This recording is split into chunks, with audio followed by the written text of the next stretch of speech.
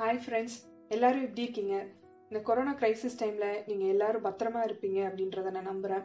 இன்னைக்கு நான் உங்ககிட்ட பட்டர்ஃப்ளை எஃபெக்ட் பத்தி தான் பேச போறேன்.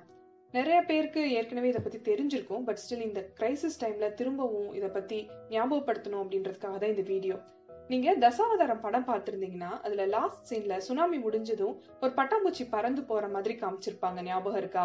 அதுல என்ன மீன் பண்ண வந்திருப்பாங்கன்னா ஒரு சின்ன பட்டாம்பூச்சி சிறகடிச்சு பறக்கும் போது ஏற்படுற காத்து நாளடைவுல ஒரு புயலை கூட உண்டு பண்ண முடியும் அப்படின்றத சிம்பாலிக்கா சொல்லியிருப்பாங்க. இத பட்டர்ஃப்ளை எஃபெக்ட் அப்படின்னு பொதுவா சொல்லுவாங்க. நைன்டீன் சிக்ஸ்டீஸ்ல அமெரிக்காவை சேர்ந்த எட்வர்ட் லாரன்ஸ்ன்றவர் தான் இந்த கான்செப்டை வலுப்படுத்தினாரு. இவர் யூஎஸ் ஆர்மில ஏர்கார்ப்ஸ்ல வெதர் ஃபோர்காஸ்டா ஒர்க் பண்ணிட்டு இருந்தாரு. ஃபிளைட்ஸ் கிளம்புறதுக்கு முன்னாடி இன்னைக்கு வெதர் கண்டிஷன்ஸ் எப்படி இருக்கும் அப்படின்றத ப்ரிடிக்ட் பண்ணி சொல்றதா இவரோட வேலை. ஒரு நாள் வெதர் பேட்டர்னை சிமுலேட் பண்றதுக்காக அங்க இருந்து டிஜிட்டல் கம்ப்யூட்டர்ல வேல்யூஸ் என்ட்ரு பண்ணி கால்குலேஷனை ரன் பண்ணிட்டு இருந்தாரு. அந்த கால்குலேஷன்ல கிடைச்ச ரிசல்ட் பாத்தீங்கன்னா அப்ப இருந்து வெதர் கண்டிஷனுக்கும் வந்த ரிசல்ட்டுக்கும் சம்மந்தமே இல்லாம இருந்தது. ரிசல்ட் தவறா வரதுக்கு என்ன காரணம் அப்படின்னு கால்குலேஷனை திரும்ப செக் பண்ண ஆரம்பிச்சாரு. அப்பதான் அவரு point five zero six one two seven அப்படின்ற நம்பருக்கு பதிலா அதை ரவுண்ட் ஆஃப் பண்ணி பாயிண்ட் ஃபைவ் ஜீரோ சிக்ஸ் அப்படின்னு என்ட்ரு பண்ணதான் இந்த ப்ராப்ளம்க்கு காரணம்னு ரியலைஸ் பண்ணினாரு. ஒரு சின்ன வேல்யூல இருக்கிற டிஃபரன்ஸ் ரிசல்ட்டை இவ்வளவு தப்பா காட்ட முடியுமா அப்படின்னு ரொம்பவே ஆச்சரியப்பட்டாரு. இதை மெட்டமாஃபிக்கலா எக்ஸ்பிளைன் பண்றதுக்காக ஒரு பட்டர்ஃப்ளை பறக்கிறத உதாரணமா எடுத்து சொல்லியிருப்பாரு. அதாவது பிரேசில்ல ஒரு பட்டாம்பூச்சி பறக்கும் போது அதனால காற்றுல ஏற்படுற மாற்றம் டெக்சாஸ்ல ஒரு புயலா உருவாக முடியும் அப்படின்றத எக்ஸாம்பிளா சொல்லியிருப்பாரு. இதுக்கு பட்டர்ஃப்ளை எஃபெக்ட் அப்படின்னு பேர் வச்சாரு. இன்னும் கிளியரா சொல்லணும்னா எப்பயோ நடந்த ஒரு சின்ன விஷயத்தினால எதிர்பார்க்காத பெரிய விளைவுகள் என்னைக்காவது நடக்கலாம் அப்படின்றத தான் புரிய வச்சிருப்பாரு. இந்த பட்டர்ஃப்ளை எஃபெக்ட்க்கு வேர்ல்ட் ஹிஸ்டரியிலையும் நடந்த முக்கியமான நிகழ்வுகளை சில பேர் எக்ஸாம்பிளாக எடுத்து சொல்லியிருக்காங்க. ஒரு சிக்னிஃபிகண்டான ஹிஸ்டாரிக்கல் எக்ஸாம்பிள் சொல்லணும்னா அது அமெரிக்கன் பிரசிடென்ட் ஆப்ரஹாம் லிங்கனோட படுகொலை. ஆப்ரஹாம் லிங்கன் ஆப்ரோ அமெரிக்கன் ஸ்லேவ்ஸ்க்கான உரிமைகளை பெற்று தரதுக்காக நிறையவே பாடுபட்டாரு. கருப்பர் இனம் அமெரிக்கால அடிமைகளா இருக்கக்கூடாதுன்றதுக்காக நிறைய ஸ்கீம்ஸ் கொண்டு வந்தாரு. அவர் கொலை செய்யப்பட்ட ஒரு பத்து நாளைக்கு முன்னாடி பாத்தீங்கன்னா அவருக்கு ஒரு கனவு. அதாவது அவரோட இறுதி சடங்கு ஒயிட் ஹவுஸ்ல நடக்கிற மாதிரியும் அந்த சடங்குக்கு அவரே வந்து அட்டன் பண்ற மாதிரியும் கனவு கண்டிருக்கிறாரு. இந்த கனவுனால ரொம்பவே டிஸ்டர்ப்டா இருந்தாரு. அந்த டைம்ல பாத்தீங்கன்னா வாஷிங்டன்ல இருக்கிற ஒரு தேட்டர்ல தன்னோட கசின் ஒரு ஸ்கிட் ஆக்ட் பண்ண போறதா கேள்விப்பட்டாரு. ஸோ அந்த ட்ரீம்னால ரொம்பவே டிஸ்டர்ப்டா இருந்த அப்ரஹாம் லிங்கன் அந்த தேட்டருக்கு தேவையான செக்யூரிட்டியை கூட அழைச்சிக்காம கிளம்பிட்டாரு. அங்கதான் அவரை சுட்டு கொலை செய்யப்பட்டிருக்கிறாரு. அதுக்கப்புறமா பிரசிடென்டா வந்த ஆண்ட்ரூ ஜான்சன்றவரு ஆப்ரஹாம் லிங்கன் ஸ்லேவரிய என் பண்றதுக்காக என்னென்னலாம் ஸ்கீம்ஸ் கொண்டு வந்தாரோ அது எல்லாத்தையுமே ரிஜெக்ட் பண்ணிட்டாரு. ஒருவேளை அந்த கனவு வராம இருந்திருந்தா மன அமைதியை தேடி தேட்டருக்கு போகாம இருந்திருப்பாரோ? இன்னும் ஆப்ரோ அமெரிக்கன் இனத்துக்காக ஆப்ரஹாம் லிங்கன் நிறைய அச்சீவ் பண்ணிருக்க முடியுமோ அப்படின்ற கேள்வி மனசுல வருது. அவர் கொலை செய்யப்படாம இருந்திருந்தா இன்னைக்கு வரைக்கும் அமெரிக்கால இருக்கிற ரேசிசம் பிரச்சனைக்கு தெளிவான தீர்வு கொண்டு வந்திருக்க முடியும்னு மக்கள் இன்னைக்கும் பேசிட்டு இருக்கிறாங்க. ஒரு கெட்ட கனவுனால ஸ்லேவரிக்காக போராடின ஒரு நல்ல மனிதரை இழந்துட்டோம் அப்படின்றதான் பட்டர்ஃப்ளை எஃபெக்டோட முக்கியமான எக்ஸாம்பிளா சொல்றாங்க. இன்னொரு முக்கியமான எக்ஸாம்பிள் உங்ககிட்ட ஷேர் பண்ணணும்னு விரும்புறேன். அடால்ஃப் ஹிட்லர் தன்னோட சின்ன வயசுல ஒரு பெரிய ஆர்டிஸ்ட் ஆகணும் அப்படின்றதுதான் அவரோட எய்மா வச்சிருந்தாரு. சோ வேணால இருந்த ஒரு ஆர்ட்ஸ் அகாடமிக்கு ரெண்டு தடவைக்கு மேல அப்ளை பண்ணி பார்த்திருக்கிறாரு. ஆனா அவரோட அப்ளிகேஷன் எல்லா டைமே ரிஜெக்ட் ஆயிருக்கு. அதுக்கப்புறமா அவர் ஸ்லம் ஏரியால ஸ்லேவ்ஸா வாழ வேண்டிய ஒரு சூழ்நிலை அமைஞ்சிருக்கு. ரொம்பவே நிறைய கஷ்டப்பட்ட அவருக்கு மனசுல வன்மமும் சேர்ந்து உருவாயிட்டே இருந்தது. அப்புறமா தான் அவர் ஜெர்மன் ஆர்மியில சேர்ந்திருக்காரு மற்றும் இரண்டாம் உலக போருக்கு ஒரு முக்கிய காரணமா கூட இருந்திருக்காரு. ஒருவேளை ஹிட்லரோட அப்ளிகேஷனை அந்த ஆர்ட்ஸ் அகாடமி அக்செப்ட் பண்ணியிருந்தா அவர் ஒரு பெரிய ஆர்டிஸ்டா இருக்கலாம். ஹிஸ்டரியும் வேற மாதிரி இருந்திருக்கலாம்.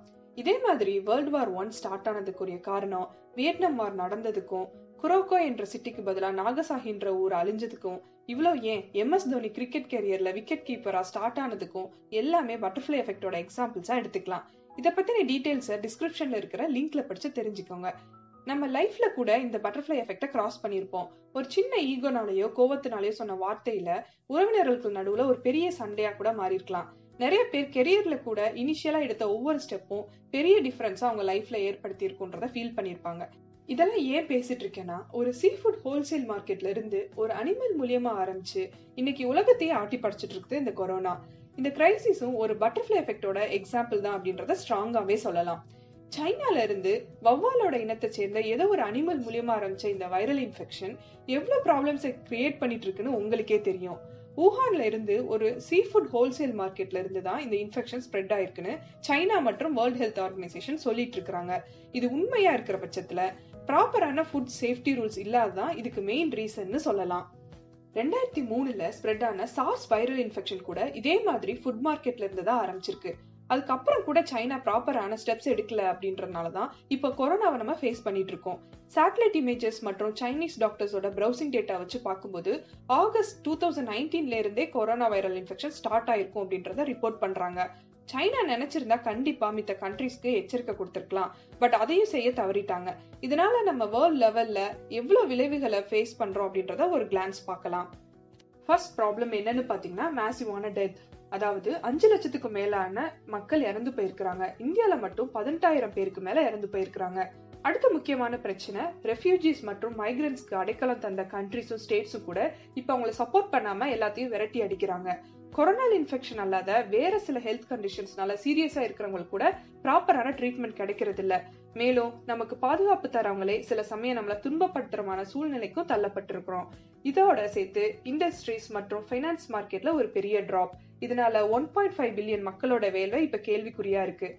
நிறைய கண்ட்ரிஸ் அவங்களுக்கு தேவையான food raw materials medical supplies இதெல்லாம் வேணுன்றதுக்காக மித்த கண்ட்ரிஸ்க்கு எக்ஸ்போர்ட் பண்றதையும் ஸ்டாப் பண்ணிட்டாங்க. இவ்வளோ ஏன்? இப்ப இருக்கிற யங்ஸ்டர்ஸ் மற்றும் கிட்ஸ ஜென்ரேஷன் கொரோனான்னு மென்ஷன் பண்ண ஆரம்பிச்சிட்டாங்க. வேலை இல்லாம நிறைய சூசைடல் கேசஸ் லைஃப்ல ஒரு இன்செக்யூரிட்டி ஃபேமிலியில ஃபினான்ஷியல் மற்றும் ஹெல்த் ப்ராப்ளம்ஸ்னு நிறைய சைக்கலாஜிக்கல் எஃபெக்ட்ஸோட வாழ்க்கையை நீ ரன் பண்ணணும்ன்ற கட்டாயத்துக்கு தள்ளப்படுவாங்க. ஒரு அனிமல்ல இருக்கிற வைரஸ்ல ஆரம்பிச்சு ஒரு ஜென்ரேஷனோட சைக்கலாஜிக்கல் ஹெல்த்தை டிசைட் பண்ற அளவுக்கு கொரோனாவோட பட்டர்ஃபிளை எஃபெக்ட் ரொம்பவே சிவியரா நடந்துட்டு இருக்குன்றத மறுக்க முடியாது. நம்ம பாக்குறோம் இல்லையா? எவ்வளவு கொடுமையான விஷயங்கள் நடந்துட்டு இருக்குன்னு கொரோனாக்கு ட்ரீட்மெண்ட்னு ஹாஸ்பிட்டல் கூட்டிட்டு போனவங்க திரும்ப வருவாங்களா? வரமாட்டாங்களா? அட்லீஸ்ட் அவங்க பாடியவாது நம்ம பார்க்க முடியுமான்ற தவிப்பு. இந்த டிசீஸ்னால இறந்தவங்களோட பாடியை புதைக்கிறதுக்கு கூட இடம் இல்லாம மொத்தமா குழியில போட்டு மூடிட்டு இருக்கிறாங்க நிறைய குழந்தைங்க பேரண்ட்ஸை இழந்துட்டு அனாதையா நிக்கிறாங்க. பொழைப்ப தேடி வந்த நூத்துக்கணக்கான மக்கள் வேலையும் இல்லாம அவங்க ஸ்டேட்ஸ்க்கும் திரும்பி போக முடியாம கஷ்டப்பட்டுட்டு இருக்கிறாங்க. ட்ரீட்மெண்ட் பண்ற டாக்டர்ஸ் அண்ட் நர்சஸ் கூட நிறைய பேர் உயிரிழந்திருக்கிறாங்க. இது எல்லாத்துக்குமே கொரோனாவோட சீரியஸ்னஸ் மக்களுக்கு தெரியாம ரொம்ப அலட்சியமா இருக்கிறதா முக்கிய காரணம். ஏற்கனவே நிறைய இழப்பை சந்திச்சிட்டு இருக்கோம். வர அக்டோபர்ல இன்னும் கண்டிஷன்ஸ் மோசமாகும்னு சொல்றாங்க. திரும்ப சைனால புதுசா ஃப்ளூ ஸ்ப்ரெட் ஆயிட்டு இருக்குன்னு வேற வார்னிங் வந்திருக்கு. ப்ளீஸ் அட்லீஸ்ட் இனிமேலாவது ஒவ்வொருத்தரும் எடுக்க போற சின்ன சின்ன சேஃப்டி ஸ்டெப்ஸ் இனி நடக்க போற பேரழிவுகளை கண்டிப்பா கம்மி பண்ண முடியும் அப்படின்றத நம்புங்க. தயவு செஞ்சு கொரோனா ப்ரிவென்ஷன் ஸ்டெப்ஸை சீரியஸா எடுத்து ஃபாலோ பண்ணுங்க.